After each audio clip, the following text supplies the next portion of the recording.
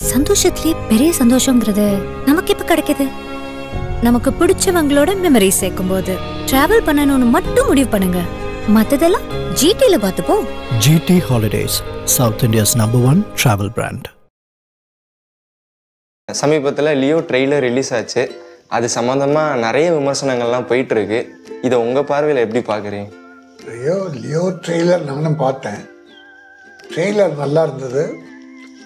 அது உள்ளுக்குள்ள ஒரு கதை இருந்தது. பல ட்ரெய்லர் ஹீரோ ஹீரோயினுக்கு மட்டும் வரும். ஆனால் இதில் ஒரு கதை சொன்னாங்க.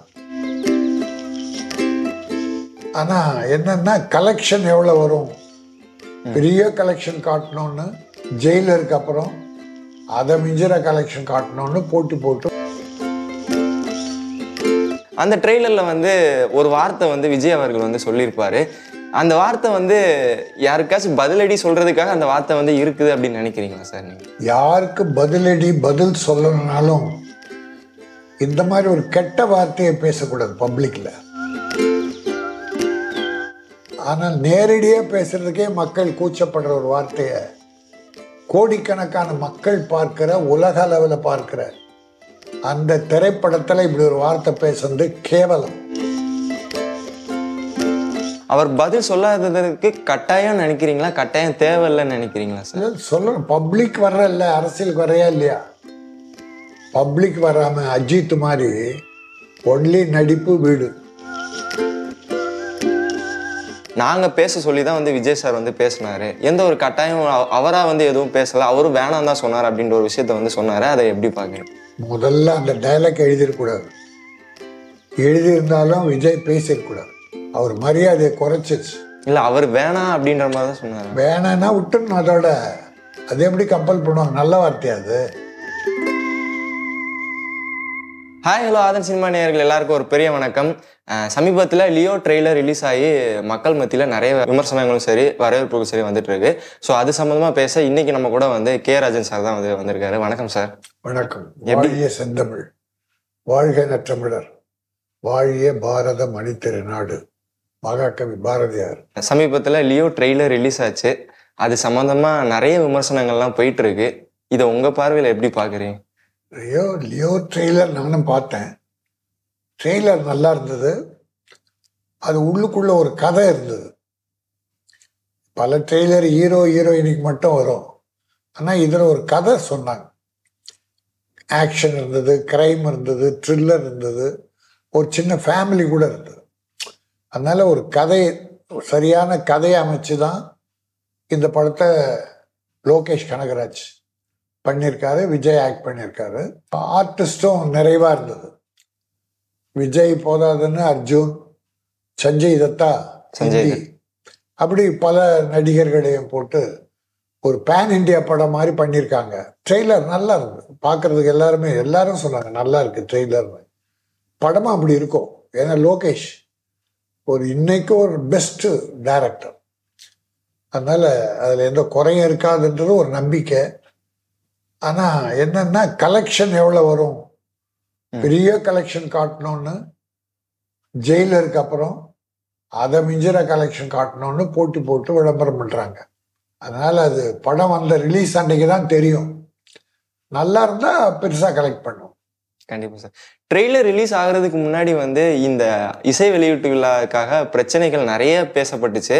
அது இறுதியாக வந்து நடக்கலைன்ற ஒரு ஒரு காரணத்தையும் வந்து லலித் அவர்கள் வந்து சொன்னார். அதுக்கப்புறம் இந்த ட்ரெய்லர் ரிலீஸ் ஆச்சு. அந்த ட்ரெய்லரில் வந்து ஒரு வார்த்தை வந்து விஜய் அவர்கள் வந்து சொல்லியிருப்பார். அந்த வார்த்தை வந்து யாருக்காச்சும் பதிலடி சொல்கிறதுக்காக அந்த வார்த்தை வந்து இருக்குது அப்படின்னு நினைக்கிறீங்களா சார் நீங்கள் அதாவது யாருக்கு பதிலடி பதில் சொல்லணும்னாலும் இந்த மாதிரி ஒரு கெட்ட வார்த்தையை பேசக்கூடாது பப்ளிக்ல இவங்கெல்லாம் எ- மக்கள் எதிர்பார்க்கிற ஒரு மாபெரும் நட்சத்திரங்கள். அவங்க போய் இந்த மாதிரி பேட் வேர்ட்ஸ் இப்பெல்லாம் மக்கள் படிக்க ஆரம்பிச்சு பொருளாதாரத்தில் சரி தாழ்ந்திருக்கிற மக்கள் இந்த வார்த்தை குறைக்கிறாங்க. பப்ளிக்ல பேசுறது குறைக்கிறாங்க. ஆனால் நேரடியாக பேசுறதுக்கே மக்கள் கூச்சப்படுற ஒரு வார்த்தையை கோடிக்கணக்கான மக்கள் பார்க்கிற உலக அளவில் பார்க்கிற அந்த திரைப்படத்தில் இப்படி ஒரு வார்த்தை பேசுறது கேவலம். அது டைரக்டர் சொல்லியிருந்தாலும் சரி விஜய் பேசியது மாபெரும் தவறு. அதில் இன்னொன்று பல பேர் பல ரெக்வஸ்ட் சிகரெட் பிடிக்க வேண்டாம். நீங்கள் போயிடுச்சா உங்கள் தொண்டர்களும் ஃபாலோ பண்ணுவாங்க. அது உடலுக்கு கெடுதின்னு எவ்வளோ சொல்லிட்டு இருக்காங்க. அந்த சிகரெட்டையும் ஸ்டைலாக பிடிக்கிற ரெண்டு மேட்டர் பண்ணியிருக்காரு. ஆகவே ரெண்டுமே சிலர் ஒத்துக்கலாம் அவர் ரசிகர்கள் ஒத்துக்கலாம்.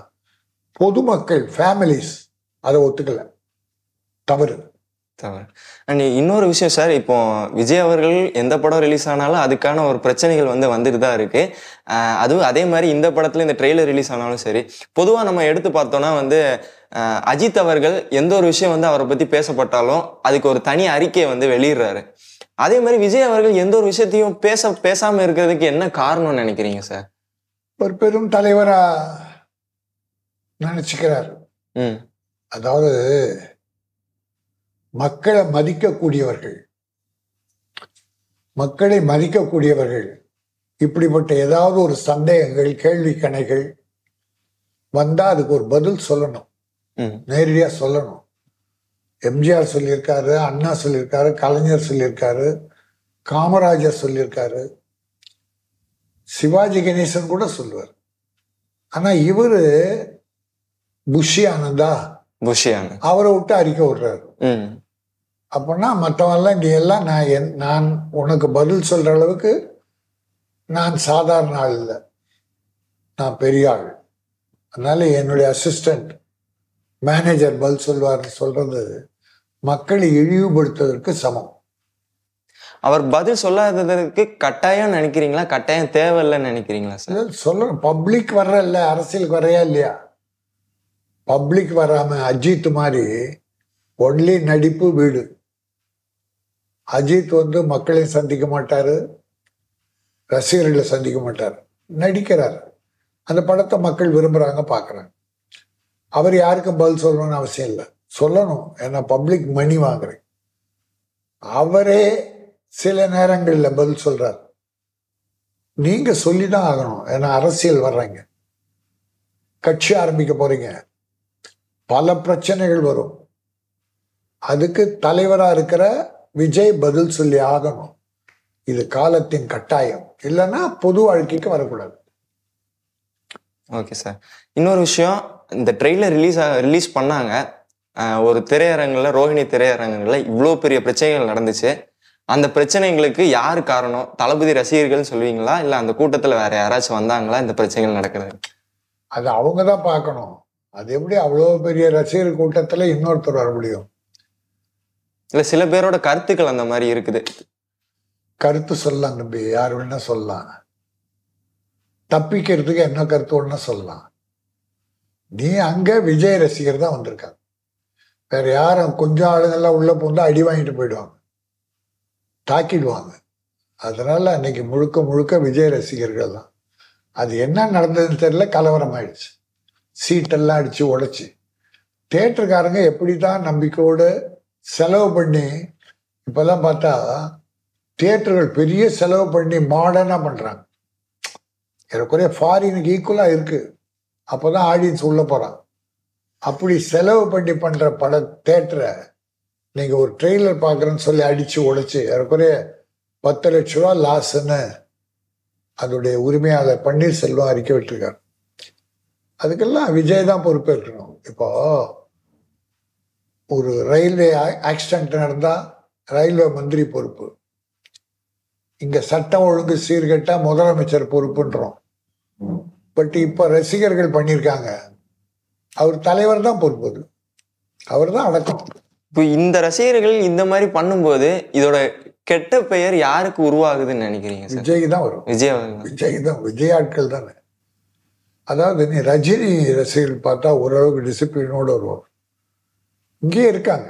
விஜய் ரசிகர்கள்லேயும் டிசிப்ளின்டு ரசிகர்கள் இருக்காங்க. ஒரு twenty percent twenty five percent கொஞ்சம் வேகமான தம்பிகள். அவன் எல்லாத்துலேயுமே அவசரப்படுறான் இப்போ நாம் ஒரு விஜய் பற்றி ஒரு கருத்து கேட்குறீங்க நாங்கள் யூடியூப்பில் சொல்கிறோம் அது இவனுக்கு பிடிக்கலன்னா கண்டபடி நம்மளை திட்டுறான். அநாகரிகமாக இதெல்லாம் விஜய் தான் ஒரு அறிக்கையாக விட்டு ஒழுக்க நெறியோடு வாழுங்கள். யாரையும் கேவலமாக பேசாதீங்க அப்படின்னு சொல்லணும். இந்த மாதிரி கலவரம் பண்ணாதீங்க. அப்படின்னு விஜய் தான் சொல்லணும்.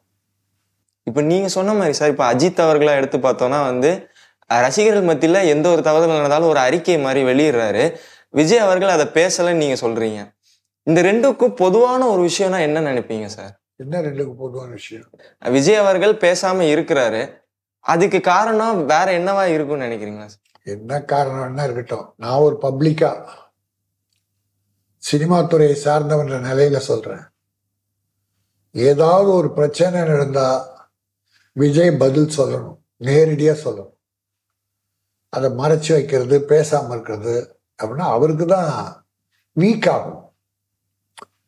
அந்த கிளாரிஃபை பண்ணிட்டாருன்னா அவருக்கு மரியாதை கூடும். அவர் சொல்றதால மரியாதை கூடும். பதில் நல்ல மரியாதை சொன்னாங்க. அப்படி சொல்லாம இப்படி பண்ணாருன்னா தலகணம் அதிகம்னு சொல்லுவாங்க.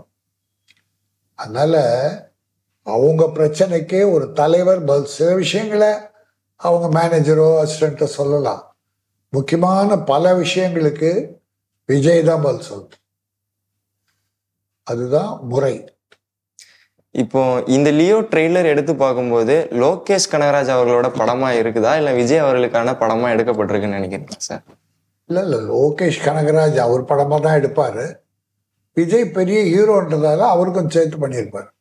இல்ல அவரோட தலையீடு இதுல ஏதாவது இருக்கும்னு நினைக்கிறீங்களா அந்த ட்ரெய்லர் அதெல்லாம் தலையிடும் ஏன்னா லோகேஷ் மேலே பெரிய நம்பிக்கை இருக்கு எல்லா ஹீரோக்கும். அதனால தலையீடெல்லாம் நிச்சயமா இருக்காது. லோகேஷ் ஒரு ஹீரோ இன்னைக்கு பெரிய ஹீரோ விஜய். அவருக்கு என்ன பண்ணணும் அந்த கதையிலன்னு பண்ணியிருப்பார். அவ்வளோ முக்கியத்துவம் கொடுத்துருப்பார். அது லோகேஷ் டைரக்டர் பார்த்துக்குவார். அதனால அது ஹீரோவுடைய கதை ஹீரோவுக்கான கதை. அதனால அதுக்குரிய சிறப்புகள்லாம் உள்ள வச்சிருப்பார். சமீபத்துல நேத்து நினைக்கிறேன் சார் லோகேஷ் அவர்கள் வந்து ஒரு பேட்டி வந்து கொடுத்திருந்தாரு ஆஃபிஷியலா வந்து இந்த படம் ப்ரொமோஷன் சம்மந்தமா அதுல அவர் சொல்லியிருந்தாரு இந்த வார்த்தை அதாவது ட்ரெய்லர்ல ஒரு வார்த்தை அந்த வார்த்தை வந்து நாங்க பேச சொல்லி தான் வந்து விஜய் சார் வந்து பேசினாரு. எந்த ஒரு கட்டாயம் அவ- அவரா வந்து எதுவும் பேசல அவரும் வேணாம் தான் சொன்னார் அப்படின்ற ஒரு விஷயத்த வந்து சொன்னாரு அதை எப்படி பாக்குறீங்க எல்லாம் பேசிட்டாரு. பின்ன ஹீரோவுக்கு சாதகமாக தான் சொல்லுவாங்க. முதல்ல அந்த டைலாக் எழுதிடக்கூடாது எழுதியிருந்தாலும் விஜய் பேசியிருக்கூடாது அவர் மரியாதையை குறைச்சிருச்சு. இல்ல அவர் வேணாம் அப்படின்ற மாதிரி தான் சொன்னாரு. வேணான்னா விட்டுணும் அதோட. அது எப்படி கம்பல் பண்ணுவாங்க. நல்ல வார்த்தையா அது? வாழ்க நீ பல்லாண்டுன்ற வார்த்தையா? கேவலமான வார்த்தை. அதை பேசுறாரு அவங்க சொன்னாங்க நான் சொன்னேன் அப்படின்னா அதெல்லாம் நியாயமாகாது. பேசியது தவறு. இப்போ என்னமோ படத்துல வராதுன்னு ஏதோ சொல்லியிருக்காரு. ஆமா சொன்னாரு. ஒரு பேட்டியில பார்த்தேன். அந்த டைலாக் நல்லது. பப்ளிக் வராம இருந்தா ஏன்னா ட்ரெய்லர்ல வந்துருச்சு. எல்லாரும் லட்சக்கணக்கான பார்த்துட்டாங்க. கோடிக்கணக்கா. இப்ப வந்தா என்ன வரலன்னா இருந்தாலும் அதை மியூட் பண்ண. சவுண்டு சவுண்டு எடுத்துடுவாங்க. எடுத்தா சரியா போச்சு அதுக்கு பாராட்டுக்கள். பாக்ஸ் ஆஃபீஸ் கலெக்ஷன் பத்தி நம்ம பேசி ஆகணும் சார் இப்போ ஜெயிலர் படத்துல பார்த்தோம். எழுநூறு கோடியில இருந்து எண்ணூறு கோடி கிட்ட வந்துருச்சு. இந்த படத்தோட கலெக்ஷன் எந்த அளவுக்கு இருக்குன்னு நினைக்கிறீங்க? ஒரு தயாரிப்பாளரா எப்படி பாக்குறீங்க? சார் நல்லா இருக்கணும். நிறைய செலவு பண்ணியிருக்காங்க. நல்லா இருக்கும். எதிர்பார்க்கறாங்க. இப்போ ஜெயிலர் ஒரு எழுநூறு கோடியை டச் பண்ணதால இது ஒரு ஆயிரம் கோடியாவது வரணும் அப்படின்னு நினைக்கிறாங்க. ஈக்குவலா வந்தாலே பெரிய விஷயம். உங்க பார்வையில் இது முறியடிக்க வாய்ப்பு இருக்குன்னு நினைக்கிறீங்களா? ஜெயிலர் படத்தை தெரியல. படத்தை பார்த்தா தானே தெரியும். நீங்க இப்படிலாம் பேசல. முதல் ஷோ படம் பார்க்குறாங்க இல்லையா? அந்த ஆடியன்ஸ் ரசிகர்களோ பொதுமக்களோ. முதல் ஷோ பார்த்துட்டு அவன் ஃபோன் எடுத்து மச்சான் படம் ரொம்ப நல்லா இருக்கு. பார்க்கலாம். அப்படின்ட்டான்னா படம் சூப்பர் ஹிட் ஃபோன் எடுத்து மச்சான் படத்துக்கு வராத போரு. அப்படின்னு அவன் சொல்லிட்டான்னா படம் ஃபெயிலியர் நீ அதை வச்சு தான் கலெக்ஷன் எவ்வளோ கணிக்க முடியும். முதல் நாள் இருக்கிறத விட ரெண்டாவது நாள் கூட்டம் ஏறிச்சுன்னா பெரிய படம் பெரிய வசூல். இந்த படத்துக்கு அந்த எதிர்பார்ப்பு இருக்கு. லோகேஷ் கனகராஜ் நல்லா பண்ணியிருப்பார் அந்த நம்பிக்கை மக்களுக்கு இருக்கு. இப்போ நீங்க சொல்ற மாதிரியே வந்து நிறைய தயாரிப்பாளர்கள் லோகேஷ் மேலே ஒரு தனி மரியாதை இருக்குது அப்படின்ற ஒரு ஒரு அபிப்பிராயம் வந்து எல்லாருக்குமே இருக்குது அதுவும் இந்த ட்ரெய்லர் இந்த லியோ படம் வரதுக்கு முன்னாடியே வந்து நிறைய அபிப்பிராயம் தயாரிப்பாளர்கள் மத்- நிறைய இருக்குது நீங்கள் அவர் உங்கள் பார்வையில் எப்படி பார்க்குறீங்க சார்? இந்த லியோ ட்ரெய்லர் வச்சும் சரி இந்த படம் வரப்போகிறத வச்சும் சரி. ட்ரெய்லர் நல்லா இருக்கு. அவங்க முதல்ல ரசிகர்கள் ஏராளமாக இருக்காங்க. இவங்களே ஒரு ஒரு வாரத்துக்கு ஃபுல் பண்ணுவாங்க விஜய் ரசிகர்கள். அவங்களே ஒரு வாரத்துக்கு ஃபுல் பண்ணுவாங்க எல்லா தேட்டரையும் அதுக்கு பிறகு பப்ளிக்கு தாய்மார்கள் கேர்ள்ஸ் பொதுவான இருக்காங்க இல்லையா? அவங்க பார்ப்பாங்க. இதெல்லாம் படம் நல்லா இருந்தாதான். நல்லா இல்லைன்னா ரசிகனே ஒரு முறையோட நிறுத்திடுவான். பொதுமக்கள் குறைஞ்சிருவாங்க. ஆனா விஜய் படத்தை கண்டிப்பா ஒரு படம் ஒரு முறை பார்ப்பாங்க. சுமாரா இருந்தா கூட.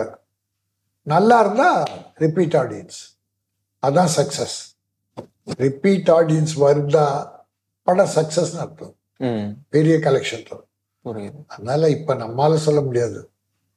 படத்தின் தரத்தை வைத்து லோகேஷ் கனகராஜ் நல்லா பண்ணியிருப்பார். இப்போ இதுதான் இன்னொரு விஷயம் சார் படம் ரிலீஸ் ஆக போகுது பத்தொன்பதாம் தேதி. ஜெயிலர் படம் ஜெயிலர் படத்துக்கு ஏர்லி மார்னிங் ஷோ வந்து கொடுக்கல. அதாவது முதல் காட்சி ரசிகர்கள் காட்சி எதுவுமே கொடுக்கல. முதல் ஷோவே தமிழ்நாட்டில் ஒம்பது மணிக்கு தான் போட்டாங்க. இப்போ இந்த லியோ படத்துக்கு அதுக்கு முந்தின நாளே காட்சிப்படுத்த போகிற மாதிரி நிறைய நியூஸ்கள் வந்து வந்துட்டு இருக்கு நீங்கள் என்ன சொல்கிறீங்க சார் கவர்மெண்ட் அனுமதி கொடுக்க மாட்டாங்க. ஏன்னா ப்ரொடியூசர்ஸ் டிஸ்ட்ரிபியூட்டர்ஸ் தேட்டர்காரன் எல்லாரும் போய் தான் முதலமைச்சர்கிட்ட ஒரு லெட்டர் கொடுத்தோம்.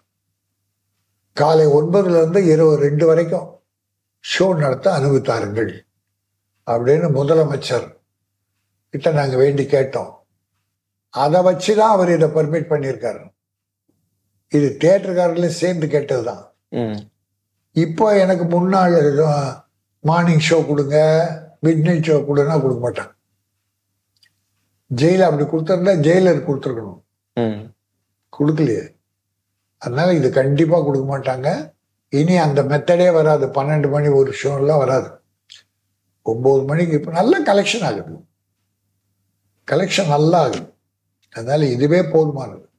இல்லை இன்னொரு விஷயம் என்ன சார் ரசிகர் மத்தியில் வந்து இந்த படம் வந்து முன்கூட்டியே வந்து வெளி மாநிலங்களும் சரி வெளிநாட்டுக்குள்ளேயும் முன்னாடியே ரிலீஸ் ஆகுது. அப்போ அங்குள்ள ஆர்வங்க வந்து கண்டிப்பாக இங்குள்ள ரசிகர்களுக்கு நிறையவே வரும். அங்கேயே அதிகமாக முன்னாடியே ரிலீஸ் பண்ணுறாங்க அப்படின்ற போது இதை எப்படி ஏற்றுப்பாங்கன்னு நினைக்கிறீங்க சார்? லலித் அவர்களும் சரி அந்த படம் சார்ந்த குழுவும் சரி. ஏற்றுக்கிறதெல்லாம் நம்ம கையில் இல்லை. கவர்மெண்ட் ஒரு சட்டம் போட்டுருச்சு. ஏற்கனவே ஒரு படத்தில் அதை செய்து காட்டுருச்சு. இப்போ அடுத்த வர்ற படத்தை பிரேக் பண்ண மாட்டாங்க. ஒரு தடவை ஒரு முடிவு பண்ணி ஒரு படம் இல்லாம இருந்ததுல பரவாயில்ல. ஜெயிலரே போடல. அப்ப இனி வர்ற படங்களுக்கும் அனுமதி தரமாட்டாங்கன்றது தான் என்னுடைய நம்பிக்கை. அதுக்கப்புறம் கவர்மெண்ட் அவங்க. அதான் விஷயம். இந்த லியோ பத்தி நாம நிறைய பேசிட்டு இருக்கிறோம். அஜித் அவர்களோட விடாமுயற்சியோட ஷூட்டிங் வந்து ஸ்டார்ட் பண்ணிட்டாங்க சார் அதுவும் லியோ ட்ரெய்லர் ரிலீஸ் ஆக நேரத்துல வந்து ஒரு அனௌன்ஸ்மெண்ட் வந்து விட்டுருக்காங்க அவங்க சைட்ல இருந்து. இந்த ரெண்டையும் எப்படி பாக்குறீங்க? ஏன்னா விஜயோட அடுத்த படம் தளபதி அறுபத்தெட்டும் வந்து வரப்போகுது. அந்த சமயத்துல தான் வந்து விடாமுயற்சி ரிலீஸ் ஆகுறதுக்கு நிறைய வாய்ப்புகள் இருக்குன்னு சொல்றாங்க. நீங்க என்ன பாக்குறீங்க? அஜித்தும் நல்லா பண்ணியிருப்பா. மது திரும்பி டைரக்டர் அஜி விடாமுயற்சி நல்லா பண்ணியிருப்பாரு. இது ஒரு சின்ன காம்படிஷன் மாதிரி ஆயிடுச்சு. அந்த படம் நல்லா இருந்தால் அதை விட நம்ம நல்லா பண்ணோம் நல்ல ஆரோக்கியமான போட்டி தான்.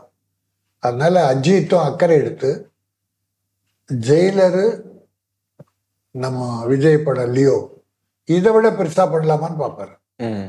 அப்படிதான் லைக்கா ப்ரொடியூசர் லைக்கா அதனால பெருசா தான் பண்ணுவாங்க.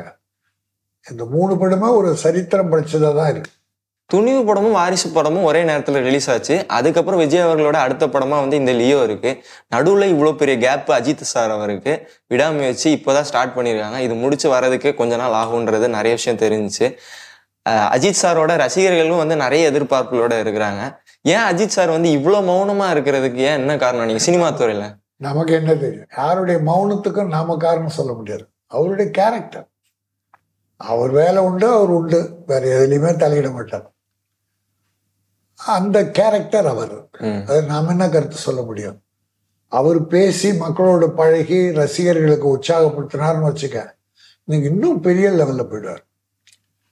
ஒரு அன்னைக்கு இருந்த எம்ஜிஆர்ல ஒரு பாதியை பார்க்கலாம் இவர்கிட்ட. ஆனா செய்ய மாட்டேங்கிறாரு. அது அவர் இஷ்டம் இல்ல அவர் மௌனமா இருக்கிறது பார்த்தா வந்து நான் தான் முன்னாடி இருக்கிறேன் அப்படின்ற ஒரு விஷயத்த வந்து படங்கள் மூலமாகவும் நிறைய விஷயங்கள் மூலமாகவும் தெரிய வருது. அது நம்ம கம்பேர் டு ரஜினி சாரா இருக்கட்டும் சரி விஜய் சாரா இருக்கட்டும் சரி இதை நீங்க எப்படி பாக்குறீங்க அவர் நான் தான் முதல்னா அவர் நினைக்க மாட்டார். அவர் கடமை நடிக்கிறாரு. கதையை நல்ல கதையை செலக்ட் பண்றாரு. கம்பெனி நல்ல கம்பெனி ப்ரொடியூசர் பெருசாக செலவு பண்ற கம்பெனி அவங்களுக்கு தான் டேட் கொடுக்குறாங்க. அதனால் டைரக்டரும் நல்ல டைரக்டரை பார்த்து தான் போடுறாங்க. அதனால் அவர் சக்ஸஸ் பண்ணணும். அதுக்குரிய யோசனைகளை ரகசியமாக சொல்லுவார். இவ்வளோ தான் வேற எதுலேயும் தலையிட மாட்டார். அந்த அந்த போட்டி தான் இப்போ இருந்துக்கிட்டு இருக்கு. வேறு நாகரிகமான போட்டி தான் அதனால் ஜெயிலர் அளவுக்கு லியோ வந்தால் நல்லது. தமிழ்நாட்டுக்கு பெருமை தான் அந்த லெவலுக்கு விடாமுயற்சி வந்தால் அதுவும் நல்லது தான் அதனால் தமிழ் சினிமா வரணும் ப்ரொடியூசர்ஸ் நல்லா இருக்கணும். சின்ன படங்களும் இதை போல வெற்றி பெறணும். இதுதான் என்னுடைய கருத்து. தமிழக மக்கள் அனைவரும் நலமோடு வளமோடு நீடு ஊழி வாழ்க. நல்ல காரியம் நிறைய பண்ணுங்க. அப்பா அம்மாவை மதிச்சு அவங்களுக்கு தேவையான உதவிகளை செய்யுங்க. நன்றி வணக்கம். நன்றி சார்